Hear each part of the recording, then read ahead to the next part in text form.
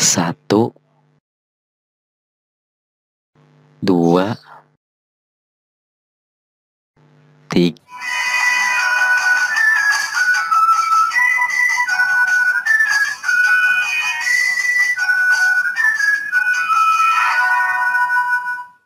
Halo teman semua, jumpa lagi dengan saya di Riyadi Family.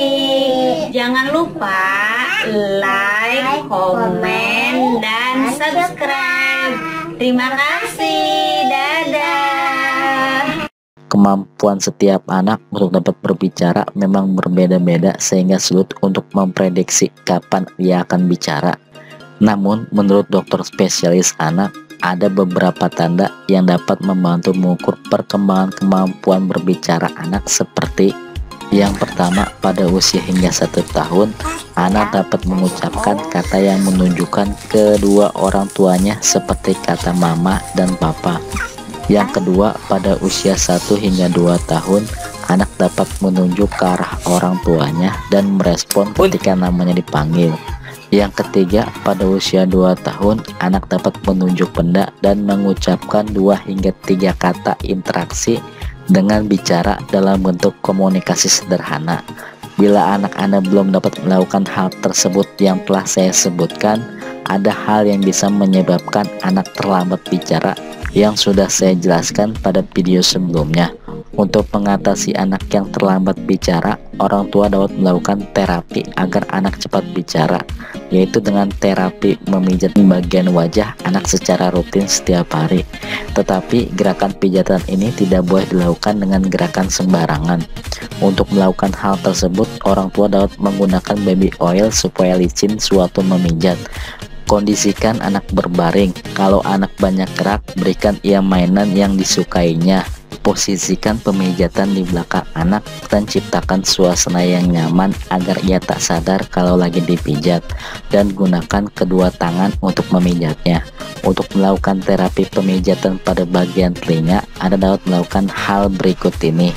Yang pertama, pijat pipi anak memutar ke arah atas 5 sampai dengan 7 kali. Satu, dua, tiga, empat, lima, enam, tujuh. Yang kedua, tarik bagian bawah hidung ke arah bawah tulang pipi sampai bawah telinga 3 sampai dengan 5 kali. Satu, dua, tiga, empat, lima. Yang ketiga, tarik bagian atas bibir ke arah samping bawah. Tarik bagian bawah bibir bawah ke arah pipi 3 sampai dengan 5 kali. Satu, dua, tiga, empat, lima, satu, dua, tiga, empat, lima. Yang keempat, pijat atau tekan titik warna putih, merah, biru, kuning, dan hitam selama tiga kali putaran bersamaan kanan dan kiri dengan warna yang sama. Satu, dua, tiga, empat, lima, satu, dua, tiga, empat, lima, satu, dua, tiga, empat, lima, satu, dua, tiga, empat, lima, satu, dua, tiga, empat, lima, satu, dua, tiga, empat, 5. Yang kelima, pijat memutar dengan jari telunjuk mulai dari kanan titik warna putih, merah, biru, dan seterusnya sampai ketemu titik putih lagi. Lakukan tiga kali putaran. Satu,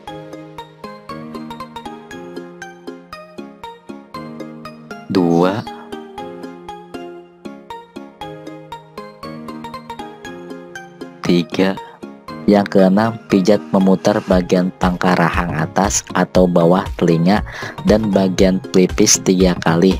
Bagian yang bergerak saat membuka mulut.